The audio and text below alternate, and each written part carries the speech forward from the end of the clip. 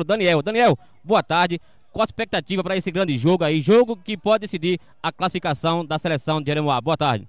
Boa tarde, gente. Quero agradecer aqui o apoio de cada um de vocês, principalmente da torcida que estão aqui para nos apoiar, nos ajudar a conquistar essa vitória e a classificação com fé em Deus. Estamos aqui cientes de fazer o que a gente sabe, que é jogar bola. A gente veio para jogar bola e para sair com a vitória. Com fé em Deus vai dar tudo certo. Então...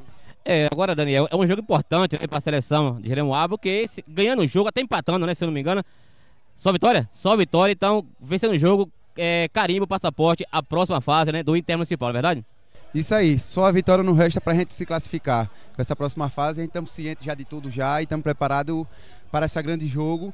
E cada um dando o seu melhor, eu acredito e creio que vai dar tudo certo e vamos sair com a vitória com a classificação, com fé em Deus. Beleza, Daniel? Boa tarde, Daniel. Um prazer falar contigo, cara. É, a gente sabe que esse grupo, o grupo 1 da seleção de onde Jeremoabo está aí com apenas três seleções, né, né Daniel?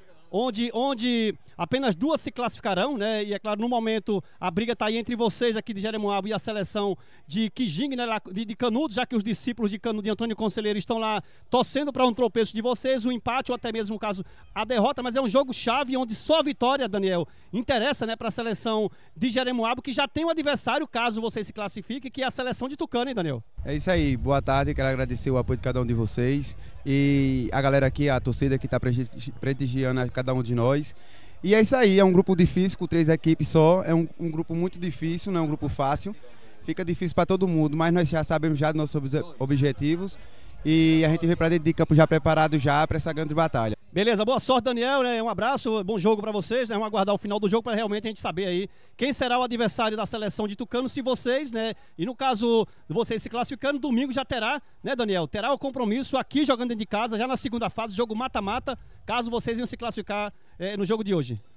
É isso aí, nós já tá ciente já de tudo já e a gente veio para ganhar e para vencer. Foi Deus. Beleza, boa sorte para você e todos os seus companheiros. Valeu, Daniel. Valeu, obrigado.